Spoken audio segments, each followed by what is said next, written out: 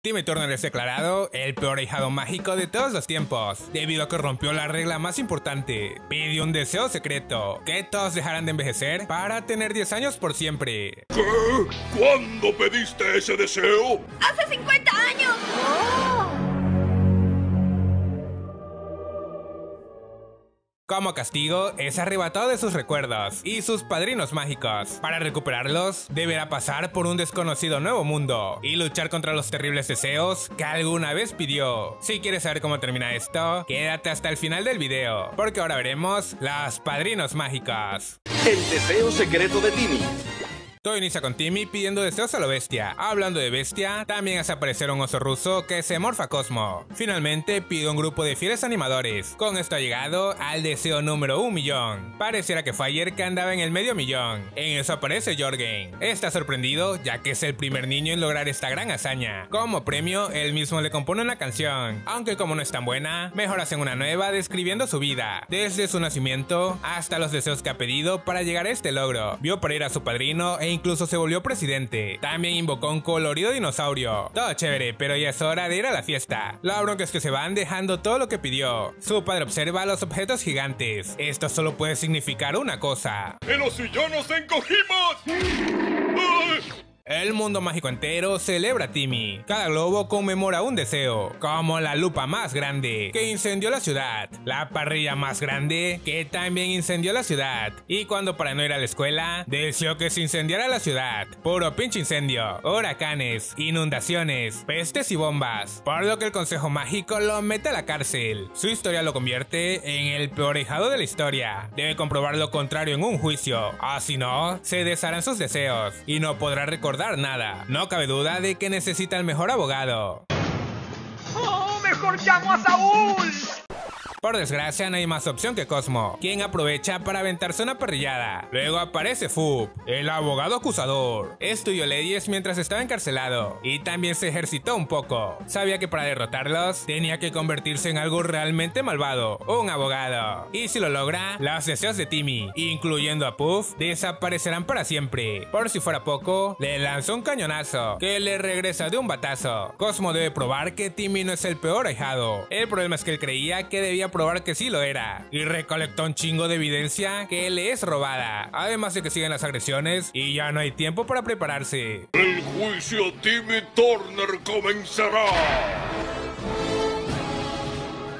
La prueba A en su contra es que él es el responsable del calentamiento global. Tenía un chingo de frío, así que pidió que hubiese más calor, calentando los polos y liberando un hombre de las cavernas, que se convirtió en el guardia de tránsito más aterrador. La prueba B deseó que llovieran perros rabiosos. Esos ejemplos solo son la punta del iceberg, que Timmy derritió. Causó el pie de atleta, creyendo que lo haría mejor en fútbol. También le dio un aguijón a todo el mundo para que se anduvieran picoteando. ¡Oh, madre! Podría seguir, pero su biberón está vacío y su pañal lleno. Es hora del descanso. Mientras tanto, llama a su verdugo, quien no alcanza a tener participación. Al igual que Cosmo, prefiere echarse una siestecita. Lo bueno es que los ánimos siguen y Wanda toma el caso. Llama como testigo a Barbilla Roja. Testifica que Timmy es su leal compañero, el niño maravilla. Lo ayuda a mantener Villa Barbilla a salvo, pero también liberó a su némesis, el Mega Barbilla. Deseó que el amor de su vida se convirtiera en villana y además le hizo ver que solo era un personaje de historieta. Por eso anda lloriqueando la tina, sacándose el dolor con la esponja de la libertad. El dolor que tienen todos quienes han conocido a Timmy. El siguiente testigo es Mark Chang, que a palabras de Wanda cree que es una buena persona. El peor es que del planeta que viene, todo es lo contrario. Lo bueno es malo, y si es su amigo, entonces es su enemigo. Es una situación tan confusa. Lo desaparece y regresa Roberto el verdugo. Pero aún hay esperanza. El siguiente testigo es alguien que seguramente lo quiere mucho. Dark Laser. Fue creado por Turner. El pequeño problemita es que desde que existe ha esclavizado a 4000 planetas en la galaxia, causando dolor y sufrimiento a millones. Y agonía, no olvides la agonía. Es hora de despertar a Cosmo. Tiene que hallar a alguien que tenga algo bueno que decir de Tim. Afortunadamente, Puff interviene. Él tiene muy buenas palabras que decir del acusado, así que rodan el video de sus buenas acciones. Deseó que su mamá fuera Miss Simsdale para que se sintiera linda de nuevo, al igual que con su padre. Y más importante, deseó a Puff para que pudieran ser una familia. Bastante conmovedor. Es suficiente para que el Tribunal Mágico decida que el buen Timmy Turner no es el peor ahijado mágico.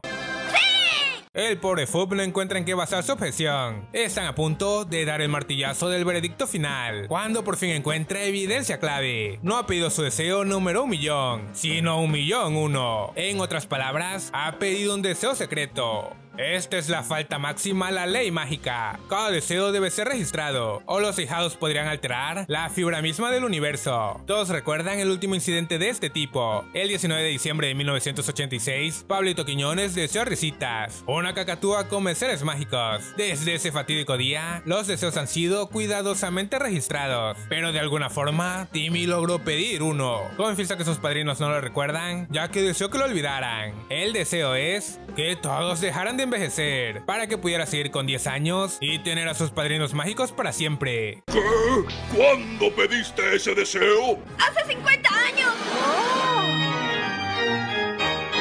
Solo que para Cosmo, esto no afecta mucho, ya que 10 más 50 es igual a 13. Aún pueden regresar a casa y seguir con sus vidas, pero para los demás es sin duda el peor ahijado mágico de la historia, por lo que todos los deseos que haya pedido serán revocados y no recordará haber tenido padrinos mágicos. Lo que Fub no sabía es que si Puff desaparece, él también. Una venganza no muy bien planeada, ni siquiera sus intentos de soborno logran salvarlo. Ambos son tragados por un torbellino. Cosmo y Wanda van de vuelta al mundo mágico, donde no recordarán haber tenido un bebé. Después de concluir el juicio, Timmy tampoco recordará lo sucedido. El padre del tiempo, que luce un tanto raro, llega para revertir el deseo. Adelante el tiempo 50 años, una era en la que al parecer todo vuela, y el pequeñín se ha convertido en un anciano. La bronca es que se les pasó un detallito. El mundo entero envejeció de golpe 5 décadas, y es algo que nadie entiende cómo chingado sucedió. El lado positivo es que es adulto y vive solo, o al menos eso creía. Aún está su padre, que no sabe cómo manejar las nuevas tecnologías. Está cabrón ir a dormir y despertar en el futuro. A su madre también le ha pegado la edad, tanto que la confunden con una bruja. Y sin querer queriendo, al usar una máquina en la cocina, la programa para autodestruirse. Así que se van en chinga. 5,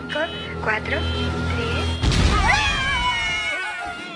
Chester y AJ también andan por el lugar. La casa de todos está estallando. Nadie sabe cómo usar su no seco automático. La sierra que pretende usar Vicky para amedrentarlos también vuela en pedacitos. Otra buena noticia es que por fin y luego de tantos años, Chester podrá lucir su dentadura. Es hora de buscar, chicas. En tanto Timmy comienza a sentir que algo le falta. La vida le da señales, pero no las entiende. En ese instante aparece Crocker, que con sus 103 añitos se ve tan fresco como siempre. O tan mal como cuando tenía 10 años, ya que a esa edad algo traumático le sucedió dándole ese aspecto. Fue cuando perdió a sus padrinos mágicos, lo que le hace saber a Timmy que eso es lo que falta en su vida. ¡Padrinos mágicos! ¡Padrinos mágicos! ¡Padrinos mágicos! ¡Padrinos mágicos! Al darse cuenta de que Denzel es un experto en el tema, le pide ayuda y el gustoso acepta, a cambio de un pastel y juguito. Ahora sí, a la Crocker Cueva, no más que después de aventarse un sueñito.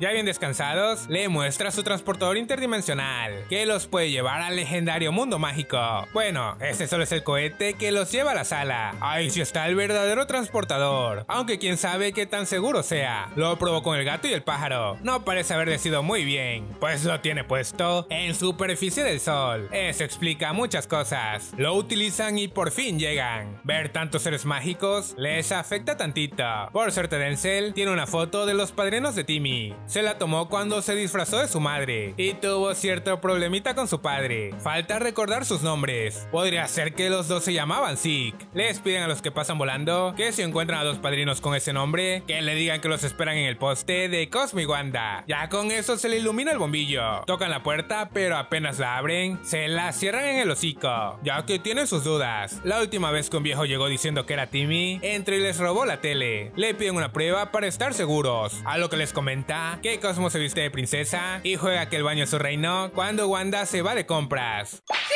eres tú! Digo, ese es nuestro secreto. Lo primero que hacen es regresarlo a sus 10 añitos. Esa joroba los hace sentir incómodos. Después se da cuenta de que les faltó un bebé, uno que él deseó, pero todos sus deseos desaparecieron incluyéndolo. Cosmo lo recuerda todo. Era cuadrado, verde y de nombre Zeke. Hay que llegar al fondo de esta situación. Si alguien sabe qué chingados está pasando, es Jorgen. Van con él. Se alegra de que sepan que tenían un hijo, pues la ley le impedía decirlo. Y sentir toda esa culpa lo hizo descuidarse. Ya puede contarles todo, aclarando aún más los recuerdos de Timmy. Sabe que está así por ser el peor hijado de la historia. Por suerte pueden encontrar al pequeño Puff. Este en un sitio al que llegan los deseos desechos, un inframundo gris y sin vida, llamado Abracalandia. Así que van a su rescate. Además de las claras dificultades, deben salir por la ventana antes de que cierre. Para empeorar las cosas, un monstruo gigante escupe fuego, que el mismo deseo en día de brujas, las comienza a perseguir. Para acabarla de joder, la magia no funciona ahí. Afortunadamente, Jorgen obligadamente le da su helado y se marcha recontento. Queda encontrar a Puff. Ojalá que no esté en peligro. ¡Ah! ¡Estamos en grave peligro!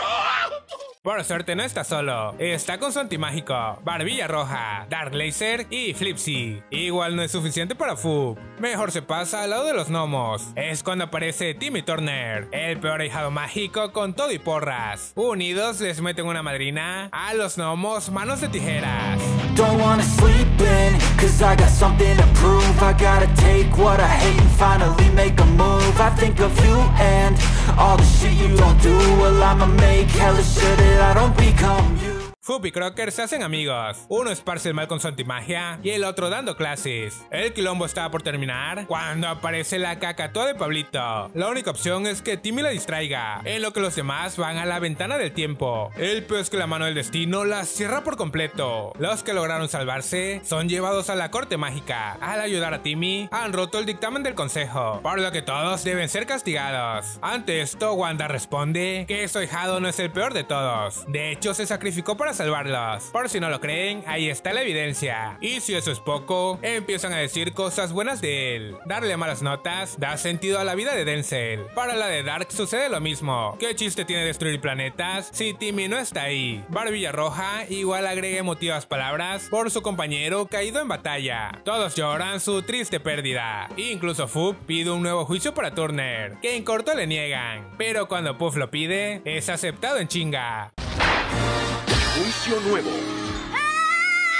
La bandita celebra el regreso de Timmy. Aún consigue el juicio por el deseo secreto. A lo que el pequeñín responde que no lo hizo por los deseos, sino porque no quiere que alejen a sus padrinos. No le importa si no puede pedir nada más. Lo importante es estar con ellos, ya que son su familia. ¡Qué conmovedor! Nunca se había visto a un niño sentir tanto amor por sus padrinos mágicos. Esto los lleva a tomar la decisión de que Timmy Turner no es el peor hijado mágico de la historia. Por tanto, queda anulada la vieja decisión. Es algo que el mundo mágico entero debe celebrar. El Padre Tiempo es nuevamente llamado y regresa el reloj a 50 años. Todo vuelve a la normalidad. Tim agradece a sus amigos por la ayuda, incluyendo a Crocker, que sigue sin saber dónde está. Finalmente lo mandan a casa. Solo quiere estar junto a ellos sin necesidad de deseos. Aunque pedir un tocino gigante no estaría nada mal. Vaya, realmente eres el peor ahijado mágico de la historia. Espero que el resumen te haya gustado. Hasta la próxima.